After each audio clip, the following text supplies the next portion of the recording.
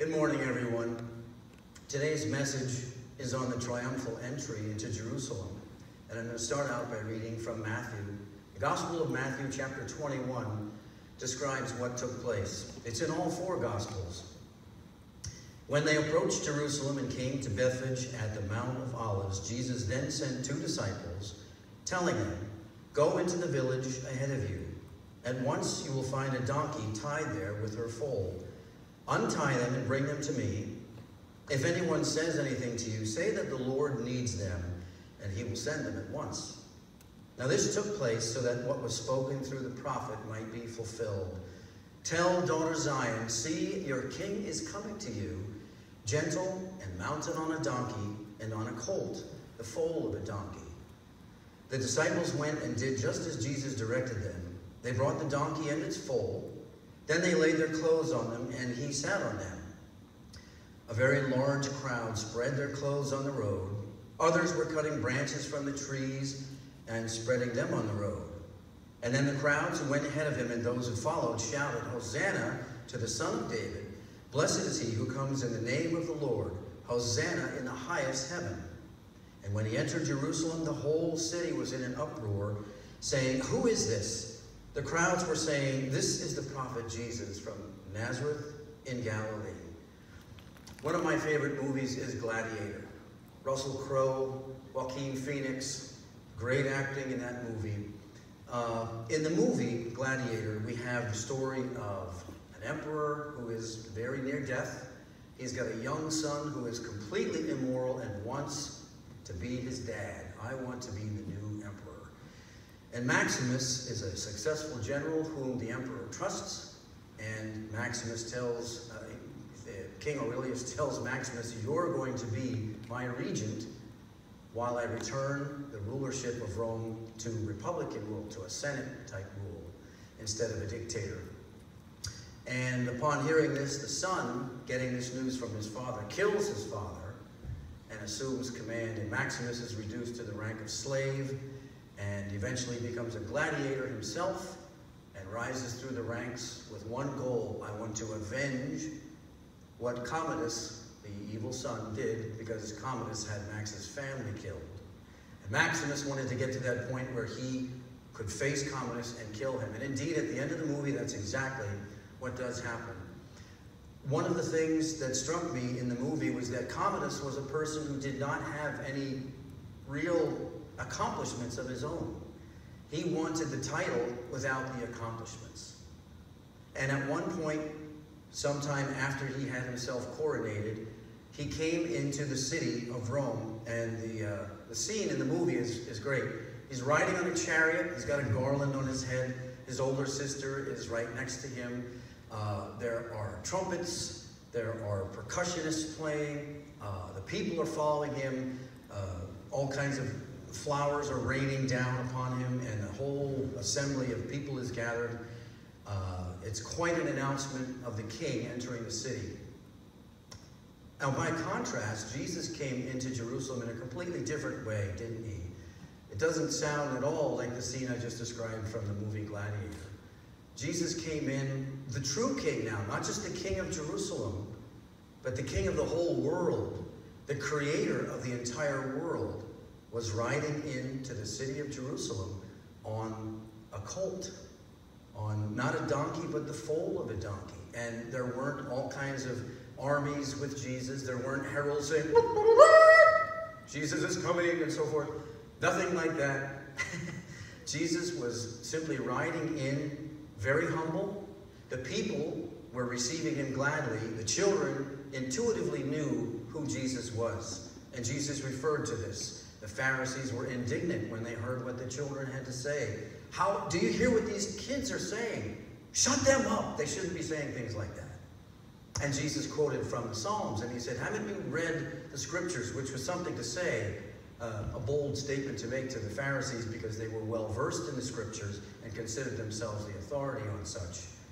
And Jesus said, Haven't you read that out of the mouths of babe, God has perfected praise? So let them say what they're going to say. The people, of course, welcomed Jesus with gladness and they laid palms down. Now, what, what's this about palms? I had to look this up. I've been going to church many years, and uh, palm branches on Easter Sunday, I mean the, the, week before, and what does that mean? Well, the palm symbolized victory. It, it symbolized a couple of different victories.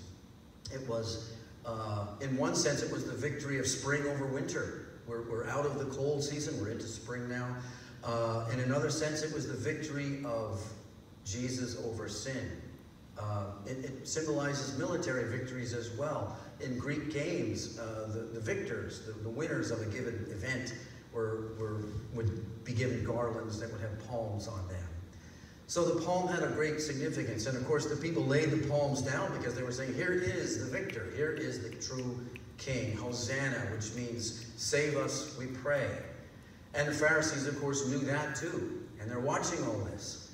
Um, and, and, that brings us to the, the uh, occasion. Why is Jesus reading, and riding into Jerusalem? Well, it's Passover. It's the time of year when Jewish pilgrims from many different surrounding nations are coming into the city of Jerusalem, and they are coming there to worship, to be in the temple, to honor their God. Passover was a time when the population of Jerusalem would swell to 2 million people.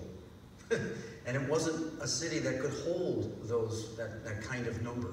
People would come with their families. Uh, of course, they had to purchase the requisite sacrificial offering. You had to be there seven days before the Passover officially started to purify yourself. So there was a lot to it. There was a lot of downtime. Like, okay, we're here. It's going to be seven days, and we all got to hang together. And oh, we got we got to buy some sacrifices. Oh, I don't have the right money. I got to get that changed. And of course, there were people, uh, merchants, ready to help with the changing of the money and the uh, sacrificial offerings, the lamb or the doves or whatever it was that you had to buy. Um, and of course, these people were doing something that Jesus hated. They were making his father's house uh, a marketplace, den of thieves, Jesus called it. The money changers would do uh, inaccurate transactions so that whatever the amount of money that you had to turn in was, they wouldn't give you what it was really worth in the money that you needed to use. They gave you somewhat less and pocketed the difference. And then likewise on the, on the sale of the lamb or the dove or whatever the sacrificial offering was going to be, you paid exorbitantly for that too. And people knew this, but that's just the way it was in Jerusalem at that time. And Jesus didn't like this. And just as he had done at the beginning of his ministry, he did now also. He cleansed the temple. He overturned the tables of the money changers, and he, uh, he said that zeal for my house commands that I do this. I cannot have this place be what you folks are making it. This is a house of prayer, and you're turning it into a den of thieves. And again, of course, uh, the Pharisees, what, by what authority are you doing this? Who are you that you think you can do these things? And Jesus, always, of course, quick with a quip, uh, far vastly, uh, his intelligence vastly exceeding the intelligence of anybody who would try to trip Jesus up. I can't even imagine having the, the, the, the gall that I'm going to ask Jesus a question and he's going to not be able to answer. Um, don't think so. I think Jesus will be more than able not only to answer you, but to put you in your place. And he did that several times over with the Pharisees. He said, Well, let me ask you a question. What about John the Baptist? You know, my cousin, the guy who came before me and prepared the way for me. Uh, where was his baptism from? Was it from heaven or was it from men? And I love the way God explains it in the scriptures. He said, Now, the Pharisees reasoned among themselves, saying, Well, if we say that, uh, that baptism of John was from men, heaven, then Jesus is going to say to us, Well, then why didn't you believe it since it had the divine stamp of authority? So we can't say that. But if we say that he just sort of made it up on his own, he was just some dude out there that decided to dress in camel hair and eat bugs and tell people to repent, the people are going to hate us because the people think that he was from God. So they looked at Jesus and they said, We don't know. and of course they did know, but they didn't want to admit. And Jesus said, Very well, you tell me nothing, and therefore I will not tell you either by what authority I'm doing what I'm doing. Jesus was the true king. And this first time around, that, that Jesus came 2,000 years ago, not as king, although he is the king, but he came as the suffering servant. He came to save his people from their sins. And these very same people that he was about to die for, that were lauding him and praising him and saying, Hosanna to the Son of David, and so forth. Within a week, these same people were going to be calling for his crucifixion and death. It's, it's almost, it, it's, it's mind-boggling to think that that could happen. But Jesus was not interested in popularity. He wasn't interested in being a politician and, and uh, staying in the seat of power for as long as I can. He had a mission to do. He was there for one purpose, to die for the sins of mankind. And along the way, to explain what the kingdom of heaven is like and how citizens of the kingdom should live in that kingdom. What should, what should we be doing? What kind of uh, works should those people who believe in Jesus' name be doing? So, I'm going to wrap this up real soon because we have limited time. But I've explained already that uh, Jesus was not confounded by the things the Pharisees said about his uh, authority to do things. He told a couple of other parables where he indicated that the Pharisees themselves were the initial, the Jewish people were the recipients. They were supposed to be the recipients of God's blessing. And God freely offered it to them. But they wouldn't take it. In the parable of the two sons, Jesus talks about how a father calls his two sons before him and says, Lads, I need you to work today in the vineyard for me. Who's ready? How about you, son number one? And the first son says, No, I'm not going to do it. But later he thought about that and thought, I really should do it. And so he went and he worked in the vineyard. The second son came forth. You know, the younger one, maybe he was looking to curry favor with dad, whatever. What about you, son number two? What do you say? Yeah, I'm ready, Dad. I'm going to go. But then, as soon as father was out of sight, he slunk off. I'm not going to work in the vineyard. I just said that to make it sound good. And Jesus said, Which of these two sons did the father's will? And even the little children knew. First one, that's right. Even though initially the first one said, No, I'm not going to do it, he relented. He thought about it and knew that the right thing to do was to work as dad asked me to. And Jesus explained that you Pharisees, you're the ones that I'm referring to. The kingdom of heaven is shut up to you because you're like son number two that said yes to God, but I'm not going to do what God wants. And he said that the tax collectors and the prostitutes are going to get into heaven before you will.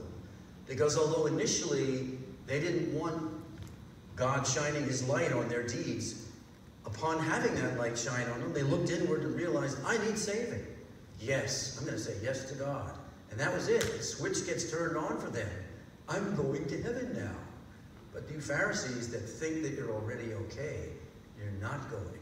Because you think you're okay. That's the problem. Your pride and your self-evaluation, your high morality that you suppose you have, is going to keep you from getting into the kingdom of heaven. They tried to trip him up with one or two more things. There was a political ploy. Hey, should we pay taxes to Caesar? They were trying to trip him up again because the idea was they were hoping that Jesus would say, you know, knowing how oppressed the people were, no, you shouldn't pay everything. Uh, you know, I understand what you're going through and maybe you need to uh, hold some of the money back and whatever. But, of course, Jesus came back with, give me a coin, bring the coin that is used to pay the tax, and they brought him a coin. Whose inscription is on this coin? And they said, Caesar. And Jesus said, then Render unto Caesar the things that belong to him, but render unto God the things that belong to him. And once again, the Pharisees had no answer for this. Jesus couldn't be tripped up, and, and how could you trip him up? He's the rightful king, the creator of all that is. It says in Philippians, and Wayne read this to us earlier, that Jesus, though he was in the very nature the same as God, I and the Father are one. The Father is in me, and I am in the Father.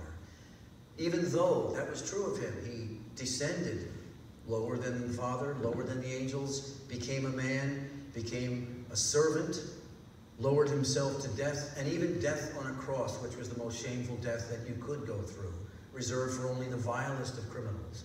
Jesus was willing to go that low. And because he went that low, God raised him up so high. It says, therefore, God exalted him to the highest place and gave him the name that's above every name.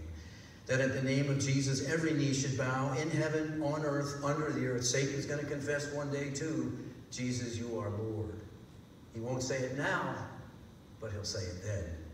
And every tongue will acknowledge that Jesus Christ is Lord to the glory of God the Father. Jesus came first as the Savior, the suffering servant. But when he comes again, that's coming, that's yet future.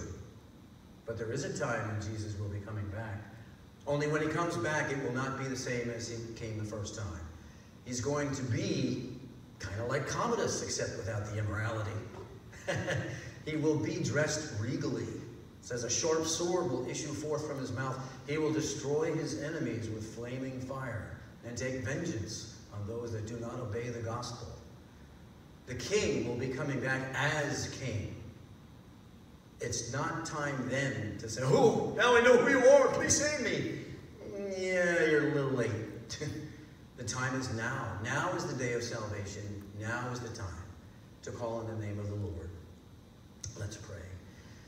Lord, we thank you so much that you did come to this earth as a man to die for our sins.